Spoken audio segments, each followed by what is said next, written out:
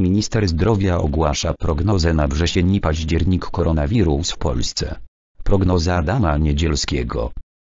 Tysiąc zakażeń dziennie pod koniec września, 5 tysięcy pod koniec października, to najnowsza prognoza ministra zdrowia Adama Niedzielskiego dotycząca przebiegu epidemii koronawirusa w naszym kraju.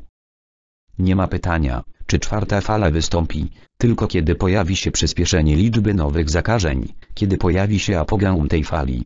Prognozujemy, że do drugiej połowy września będziemy obserwowali systematyczny wzrost liczby zakażeń, powiedział minister Adam Niedzielski w TVP Info.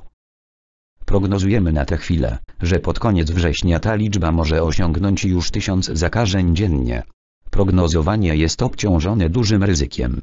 Październik ma tę liczbę jeszcze większą, bo pojawią się efekty powrotu do szkół i pracy, zwiększonej mobilności społecznej. Prognozujemy, że koniec października może oznaczać liczbę zakażeń nawet 5000 dziennie, dodał. Niedzielski zaznaczył, że kluczowe będą hospitalizacje.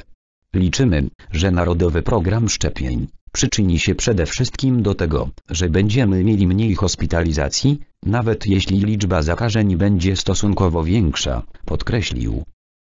Co dalej ze szczepieniami?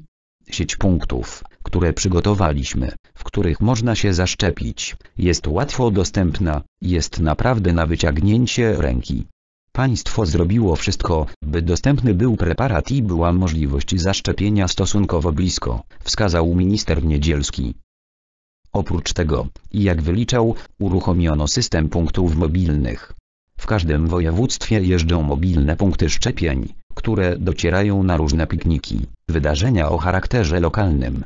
Mamy zaangażowaną ochotniczą straż pożarną, są wydarzenia z udziałem kół gospodyń wiejskich, wskazał.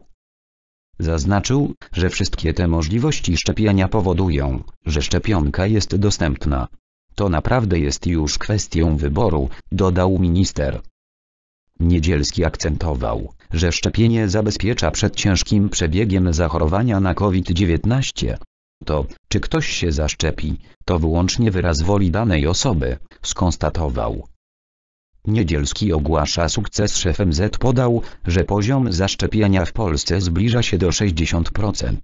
Te wskaźniki w ostatnim czasie przebijały 56% populacji. Dobrze byłoby, gdyby więcej osób było zaszczepionych, ale te parametry, patrząc na skłonność w Polsce do szczepienia chociażby na grypę, należy traktować jako sukces, ocenił minister. Szczególnym sukcesem jest to, że w grupie wiekowej powyżej 70 roku życia, czyli tam, gdzie jest największe ryzyko najgorszych skutków, ten poziom zaszczepienia jest powyżej 80%. Co tak naprawdę oznacza, że w tej grupie wiekowej mamy naturalną barierę, powiedział. Jeśli chodzi o zachęcenie młodszych grup wiekowych, jest to, jak zapewnił, przedmiotem ciągłego zainteresowania i wysiłku. Aktualny bilans liczba wszystkich wykonanych w naszym kraju szczepień przeciwko COVID-19 wynosi 36 391 474. W pełni zaszczepione są 18 860 734 osoby. Ministerstwo poinformowało w piątek o 349 nowych zakażeniach koronawirusem.